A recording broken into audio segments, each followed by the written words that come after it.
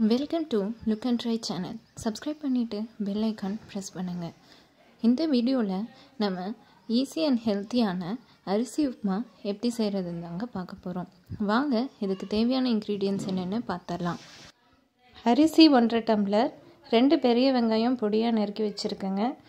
கருவேப்பிலை நாலு வரமிளகா தேங்காய் திருவல் கடலைப்பருப்பு உளுந்தம்பருப்பு கடுகு தேவையான அளவு.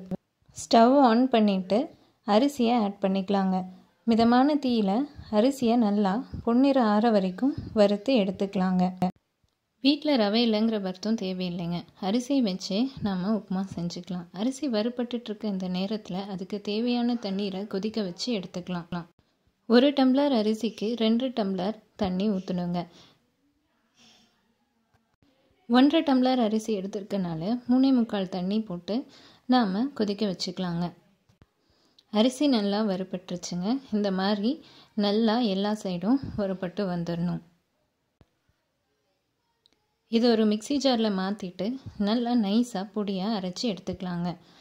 ஸ்டவ் ஆன் பண்ணிவிட்டு கடாயில் எண்ணெய் ஊற்றி கடுகு ஆட் பண்ணிக்கலாங்க. உளுந்தம்பருப்பும் கடலைப்பருப்பும் ஆட் பண்ணி நல்லா தாளித்து விட்டுக்கலாங்க. அடுத்தபடியாக நம்ம வெங்காயம் மிளகா கருவேப்பிலை எல்லாத்தையும் சேர்த்து நல்லா வணக்கிக்கலாங்க.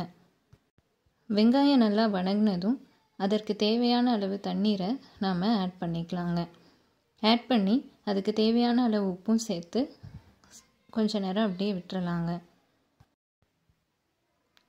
நல்லா கொதித்து வந்ததும் அதில் பொடியாக அரைச்சி வச்சுருக்க அரிசியை சே கொஞ்சம் கொஞ்சமாக சேர்த்துக்கணும். ஒட்டுமொத்தமாக சேர்த்தோன்னா கட்டி ஆகிடும் இப்படி கைவிடாமல் கிளறி கட்டி இல்லாமல் கிளறிக்கணுங்க.